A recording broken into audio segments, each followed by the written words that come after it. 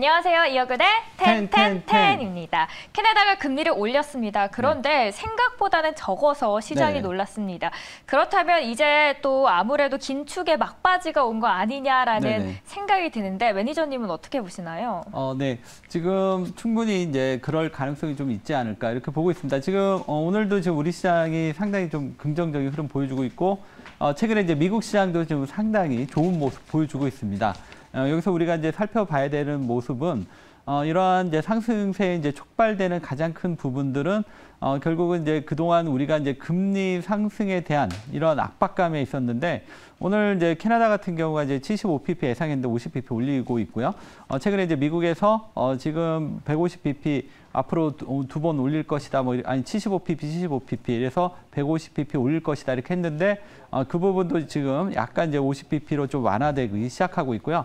어, 그래서 이제 제가 보는 거는 11월 9일 날 이제 중간 선거를 기점으로 해서 어, 중간 선거까지는 이제 미국이 어, 지금처럼 이제 좀 타이트하게 금리 상승을 가기는 하겠지만 이후에는 좀 더 완화되지 않을까. 그래서 어, 지금 이제 이러한 흐름 때문인지 몰라도 지금 차트 흐름도 기술적으로 상당히 좋게 지금 진행이 되고 있습니다. 그래서 어, 시장은 좀 긍정적으로 변화하고 있다. 이거를 꼭 기억하셔야 될 것 같습니다. 차트상으로도 봤을 때 지금 기술적으로도 흐름이 좋다라고 말씀을 남겨주셨습니다.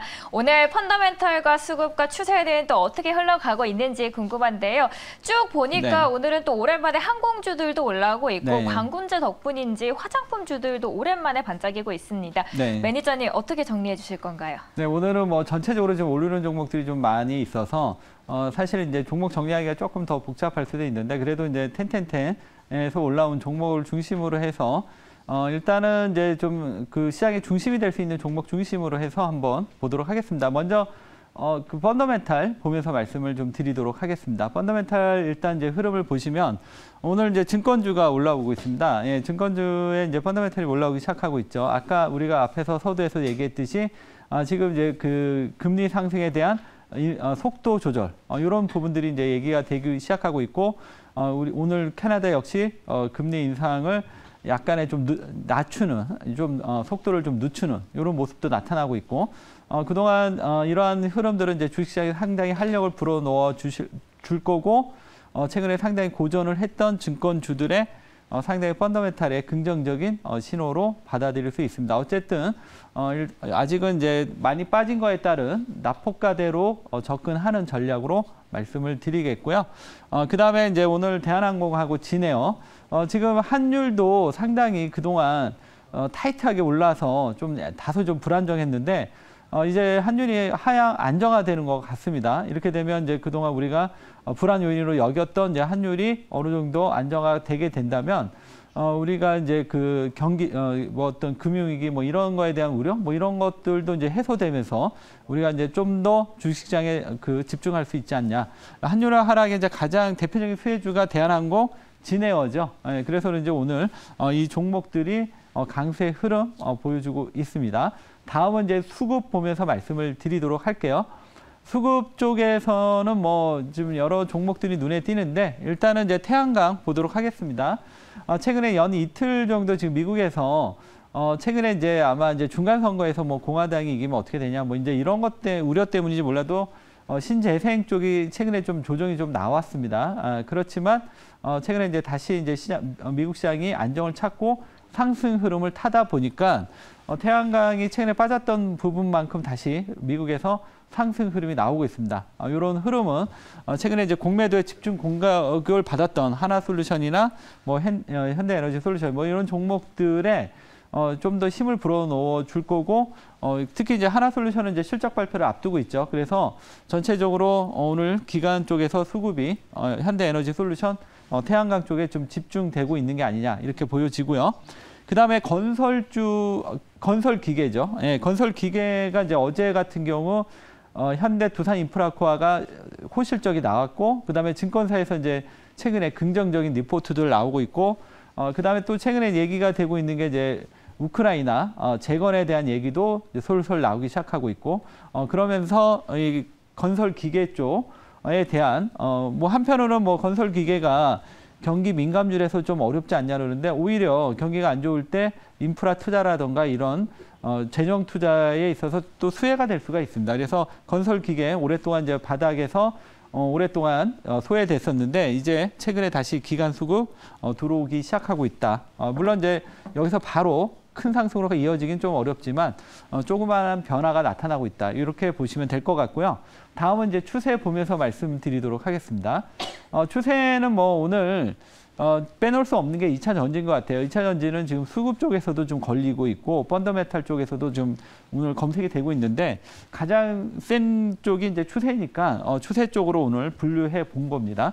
어, LG 에너지 솔루션, 삼성 SDI, 포스코 케미칼 어, 지금 어, 이 추세가 지금 LG 엔솔이나 지금 삼성 SDI 같은 경우는 거의 신고가예요. 어, 그리고 지금 이 흐름은 거의 주도주입니다. 어, 시장이 그동안 이제 계속 조정 흐름이 나왔을 때 가장 이제 그 엄, 어, 가장 이제 시장이 부재한 게 주도주인데 이렇게 이제 시장의 주도주가 나타난다면 시장은 어, 짧은 랠리라도 시장은 상승 흐름이 나올 수 있다 이렇게 보거든요. 그래서 이 주도주 흐름의 등장은 이 지금 시장에 상당히 긍정적인 하나의 신호도도 보여줍니다. 그래서 앞에 제가 말씀드렸던 기술적 부분, 그 다음에 어, 주도주의 등장, 그 다음에 이제 전체적인 이제 인상 속도의 조절 이런 걸 봤을 때 어, 시장에 대해서 더 이상 이제 하락에 대해서 두려워할 필요 없이 조금 이제 긍정적으로 접근해야 되지 않냐 이렇게 보고 있고요. 아, 그 다음에 이제 테마주이긴 한데 한미 글로벌 유신 어, 이쪽이 이제 우크라이나 재건 관련된 어, 기대감이 지금 계속 싹트면서 어, 여전히 상, 어, 네옴 시트, 시티 하고도 좀 개치 맞물려서 계속 움직이고 있죠. 한미 글로벌 유신. 어, 그렇지만 이제 테마주니까 예, 기술적으로만 어, 접근하시는 게 좋을 것 같습니다.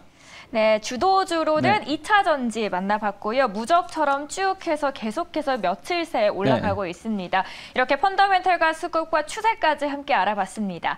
이번에는 리뷰할 종목들 만나보러 갈게요. 오늘 두 종목 모두 글로벌 경기의 무풍지대 속에 있습니다. 네. 대표적으로 배터리 양대 산맥인 삼성 SDI 그리고 LG 에너지 솔루션인데요. 지금까지는 경기 침체를 타격을 잘 비껴왔어요. 네. 그렇다면 이제 어떻게 대응하는지가 중요할 것 같은데 먼저 첫 번째로는 삼성 SDI부터 알아보겠습니다. 어, 제가 아까 앞에서 이제 서두에서 2차 전지가 주도주일 가능성이 크다 이렇게 말씀을 드렸었는데 어, 우리 방송의 특징이 주도주를 가장 빨리 잡아준다. 이게 가장 특징이죠. 어, 이번에도 어, 제가 이 방송에서 지난번 제 태조 이방원에 이어서 어, 잡아드린 것 같은데 보면서 말씀드리겠습니다. 어, 지금 어, 이게 삼성 SDI입니다. 삼성 SDI가 여기서 이제 박스권 그리고 이제 박스권이 이제 돌파되면서 이제 본격 상승이 어, 나오기 시작하고 있습니다. 물론 이제 단기간에 많이 올랐기 때문에 조정이 들어올 수 있습니다. 그렇지만 어, 이 흐름은 어, 좀 더 이어질 가능성이 있고요. 어, 그리고 이제 주도주라면 이 시세는 그렇게 짧게 끝나지 않습니다. 조금 길게 갈 수 있다. 이렇게 보시고 어, 접근하시면 어, 지금보다 더 좋은 수익 나올 수 있을 것 같습니다. 주도주인 만큼 앞으로 계속해서 더 지켜보면 좋겠다라고 삼성 SDI에 대해서 알아봤습니다.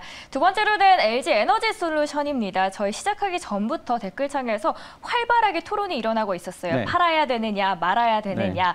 자, 그렇다면 이 시점에서 여쭤보도록 하겠습니다. 매니저님, 팔아야 될까요? 말아야 될까요? 네, 보유입니다. 어, 보유요. 왜죠?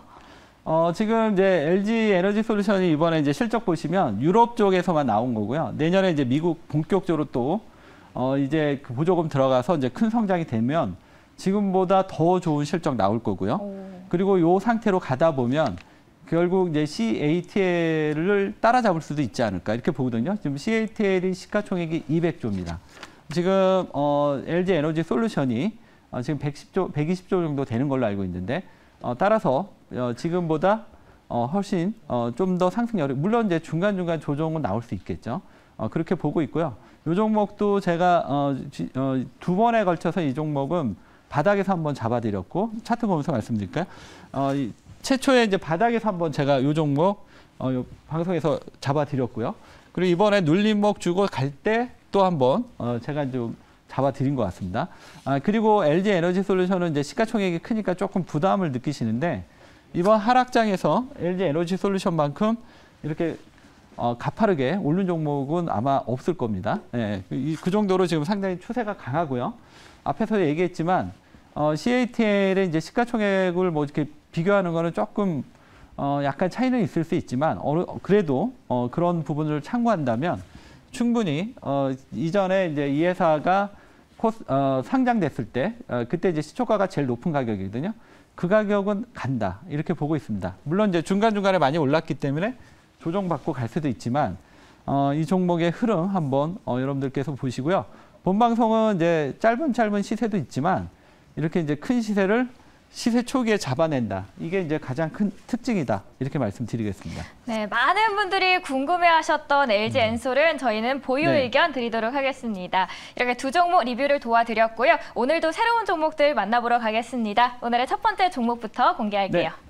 첫 번째 종목은 알테오젠입니다. 알테오젠이 사실 저희 병원에 가면 네. 이렇게 주사 네. 혈액 차, 어, 혈관 찾는데 네. 엄청 나서 여러 번 찌를 때 왜 너무 아팠거든요. 네. 그런데 알테오젠이 그 해결책이 될 수 있다는 이야기가 있더라고요. 네, 이 회사가 SC 제형, 그러니까 플랫폼을 갖고 있는 회사인데요. 어, 최근에 제가 ABL 바이오, 그 다음에 알테오젠, 아니 그 어제 같은 경우는 에고캠 바이오, 오늘 알테오젠. 지금 이제 어, 플랫폼 기업을 세 개를 연속적으로 지금 여러분들한테 소개를 해드리고 있고요. 어, 그리고 이들 종목이 좀잘 가고 있죠. 어, 그렇게 보는 이유는 일단은 이제 최근에 미국 시장에서 바이오주들이 좀 흐름이 좋아요. 어, 그렇다면 바이오에서 어떤 종목으로 갈 것이냐. 그렇다면 이제 바로 어, 현금화할 수 있고 어, 이 실적이 나올 수 있는 어, 이런 쪽이 어, 가장 좀 좋지 않을까. 뭐 그래서 이제 삼성 바이오로직스도 말씀드렸고 어, 셀트리온도 말씀드렸는데 아, 그 지금 이제 약간 임상에서 움직이는 종목보다는 이렇게 좀 현실성이 있는 어, 기술 수출 가능성이 이렇게 어, 바로 이제 현실 앞에 있는 이런 종목들이 어, 바이오에서는 좀 적당하지 않을까 이렇게 보고 있습니다. 그래서 오늘 알테오젠 준비해봤고요. 알테오젠은 뭐 서- 지금 성장 어, 호르몬 뭐 그다음에 여러 가지 지금 재료들이 많이 있는데 어, 뭐이 종목 예, 텐텐텐 점수 보면서 말씀드리도록 하겠습니다. 일단 텐텐텐 점수를 보시면 펀더멘탈은 뭐 예사가 여전히 이제 적자이기 때문에 어, 크게 기대할 건 없습니다. 그리고 PBR도 지금 한 12배, 그러니까 상당히 높죠. 그래서 펀더멘탈이 어, 좀 밸류에 대한 부담 이런 거는 있지만 이제 제약바이오들의 이제 공, 어, 특징적인 게 이런 높은 그 밸류에도 불구하고 미래에 대한 성장성, 어, 특히 이제 SC 제형에 대한 플랫폼 이런 부분들을 어, 우리가 본다면 펀더멘탈은 7점 정도 충분히 어, 줘도 된다 이렇게 보고 있고요. 그다음에 수급, 어, 수급은 이제 아, 어, 최근에 그동안 이제 수급이 별로 없었는데 최근에 이제 왜 기관들이 한 10만 주 정도 어, 매수가 들어왔습니다. 어, 이, 가, 이거, 이 부분 가지고는 조금 부족하긴 하지만 어쨌든 수급 점수가 올라오기 시작하고 있다. 이렇게 보시고요. 추세도 오늘 지금 올라오고 뭐 추세도 지금 점점 올라오고 있습니다. 그러니까 이 종목 같은 경우는 이제 5점에서 어, 지금 수급 추세가 같이 지금 올라오고 있습니다. 그래서 어, 이렇게 된다면 뭐 8점, 9점, 10점까지도 갈 수 있기 때문에 차트 보면서 말씀드릴게요. 어, 차트를 보시면 어, 이, 아- 이전에 앞에서 했던 뭐 레고 캔바이오나 이런 거보다는 조금 더 올라와 있는 상태예요. 그래도 어, 이 종목도 어, 충분히 이제 조정 받치고 이제 눌림목에서 딱 들어오고 있습니다. 그래서 오늘 자리가 아, 요, 저- 요 종목의 적기가 아니냐 이렇게 보고요. 가격 전략 말씀을 드리도록 하겠습니다. 어, 지금 이제 36,400원에서 사, 어, 아, 요 종목에 대한 전략은 36,400원에서 36,900원입니다. 요거 잠깐 수정할게요. 네. 36,400원에서 36,900원이고요. 목표가는 43,000원 정도 말씀을 드리겠고요. 손절가는 34,000원. 그래서 매수가는 36,400원에서 36,900원 말씀드리도록 하겠습니다. 네, 매수가 다시 정정드렸습니다. 36,400원에서 36,900원 참고해 네. 주시면 되겠습니다. 이번에는 두 번째 종목도 바로 네. 만나보도록 할게요. 어, 두 번째 종목은 어, 지금 이제 동원 시스템입니다. 예전에 저는 이 기업 생각하면 참치캔이 네. 떠올랐는데 이제는 원통형 배터리가 더 떠오르고 네. 있습니다. 아무래도 그쪽으로 본격적으로 투자를 많이 하다 보니까 네. 그렇게 되면 테슬라의 수혜를 또 받을 수 있지 않을까 생각이 네, 드는데 지금 어, 이 회사가 이제 그 참치캔을 만들다가 어, 이 부분을 이용해서 지금 이제 원통용 어, 지금 이제 배터리 쪽으로 진출을 하는 것 같습니다. 그래서 어, 배터리 이제 케이스 쪽으로 어, 그러면서 이제 최근에 이제 번 돈을 갖다가 막 투자를 막 하고 이러다 보니까 어, 지금 이제 전체적으로 이제 그 지- 어, 피, 그 수익 구조나 이런 것들은 그렇게 썩 좋지는 않습니다. 왜냐하면 번 돈으로 열심히 투자를 해야 되기 때문에 어, 그래서 이제 요게 이제 조금 약점이긴 한데 어, 그래도 이제 자기 자본이익률이 한 20% 정도 되고요. EPS 가 조금 부- 약합니다. 그래서 PR이 한 90배 정도 되는 것 같아요. 근데 아, 이거는 이제 투자 때문에 나오는 거고 내년 정도 되면은 이제 본격적으로 투자했던 돈들이 수익으로 나오면서 어, 증권사에서는 한 27배 정도까지 내년 어, 전망을 하고 있습니다. 그래서 올해는 어, 다소 좀 부진하지만 어, 내년에 성장성을 본다면 어, 이 종목은 좀 괜찮지 않을까 보고 있고요. 펀더멘탈 점수 아니 텐텐텐 점수 보면서 말씀드릴게요. 어, 텐텐텐 점수를 보시면 일단 펀더멘탈은 뭐 앞에서 올해는 이제 PR이라든가 이런 부분들이 조금 음, 약간 약, 약점으로 작용하지만 어, 내년에 이제 어, 어느 정도 그 2차 전지 케이스에 대한 어, 어느 정도 그 수익이 나오기 시작하면 어, 정상으로 들어갈 수 있습니다. 그래서 펀더메타는 8점. 어, 그리고 이제 수급이나 추세 쪽이 좀 약한 것 같아요. 그래서 아직 기간 수급도 들어오지 않고 있고, 그 다음에 이제 추세도 그렇게 들어오지 않고, 그래서 이 종목은 조금 단기 매매하시는 분한테는 적합하지는 않을 수 있습니다. 그렇지만, 어, 이제 이 종목이 내년에는 크게 실적이 개선이 되니까, 어, 지금이 이제 4분기니까, 어, 지금부터는 이제 조금씩 매수해 들어가도 되는 타이밍이 아니냐, 이렇게 보여집니다. 차트 보면서 가격 전략 말씀드릴게요. 차트를 보시면 이 종목이 어 그래서 그런지 주가가 이렇게 지금 상당히 오랫동안 어 하락 구간에서 지금 조정을 받고 있습니다. 어 그렇지만 이제 이제 이제 막 그 이 종목이 여기서 바닥을 어, 쌍바닥을 찍어주고 이제 서서히 이제 올라오고 있고 특히 오늘 2차 전지의 전체적인 분위기가 좋아지고 있기 때문에 어, 동원 시스템도 역시 어, 이런 분위기에 편승하게 되면 낙폭과대에 의해서 어, 한번 어, 단기 반등도 노려볼 수 있다 이렇게 말씀드리겠습니다. 어, 가격 전략 말씀을 드릴게요. 어, 가격 전략은 4만 5천 원에서 4만 6천 원, 목표가는 4만 9천 원, 어, 손절가 4만 3천 300원 말씀드리도록 하겠습니다. 네, 남들이 다 좋은 종목이다 이미 다 알 때는 사실 네. 사기에는 이미 늦었죠. 그래서 이 시점에서 저희 동원시스템즈 소개해드렸습니다. 오늘도 이렇게 두 종목 네. 소개해드립니다. 지금까지 텐. 텐텐텐이었습니다.